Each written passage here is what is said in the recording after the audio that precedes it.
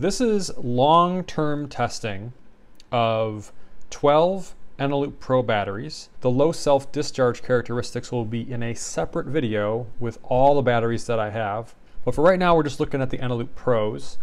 I thought I had all of them, but uh, I actually am using a bunch of them and stuff again because the testing completed. But there are 12 batteries. The first four of these I have are from May 2014, so they're definitely over six years old and have at least 100 cycles on them, if not 150 to 200. They've been used quite a bit. The other ones are, they're all date stamped August 2018.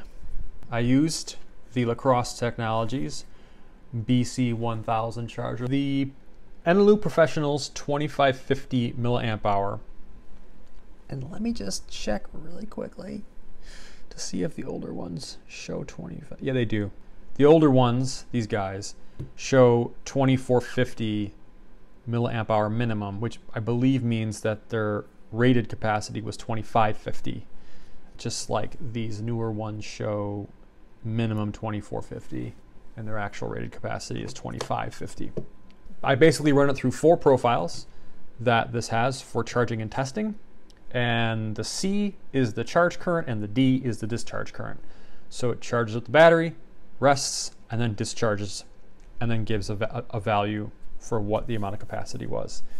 I want to make sure I delineated between the older cells and the newer cells because I was curious if there would be a massive degradation of them being quite a bit older and having way more cycle counts than the newer ones, which are probably in the vicinity of 50 to 75 cycle counts. And you can see that uh, the lowest values that appeared were on the in the lowest test profile. Did did occur with the older cells, but all the way across averaged about 2.42 amp hour. As we go up in higher current charging and more importantly higher current discharging, as one might expect, because this is the Pro line, they're designed to be able to have higher surge current capacity. So uses in like camera flashes and things like that, where there's a, a demand for an increased amount of current, and these are really kind of designed for that, as opposed to maintaining super high capacity at very low current discharge rates.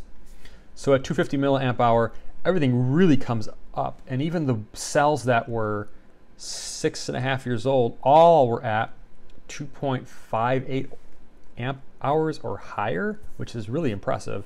And then you can kind of see that consistency across the 2018 ones for an average of 2.62. As it increased up to 350 milliamp hour discharge rate, the average continued to climb to 2.68. Finally, once we hit about 500 milliamp hours, that declined a little bit to 2.63, but there were several cells in the 350 milliamp hour discharge that went up to 2.7 amp hour. So in that middle range, these cells go way higher than the 2.55 amp hour claim. And even if you go back to cells that are many years old, still exceeding the 2.55 milliamp hour claim and handily over the 2.45 minimum value. So let's look at the graph. The dark blue bars are for the ones that are the six and a half year old cells, and then the lighter blue bars are for the ones that are for the two year old cells. You can see there's not much deviation except at the lower current discharge.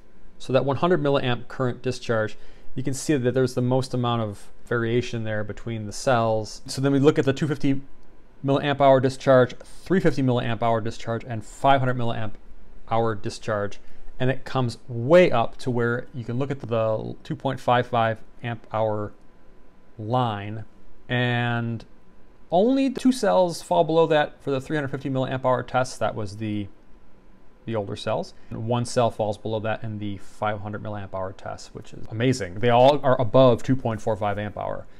These are really great cells. What impresses me the most is not that they are meeting the capacity, the 2.55 amp hour capacity, where many other cells we've tested have not even met that level, but they exceed it by a healthy margin.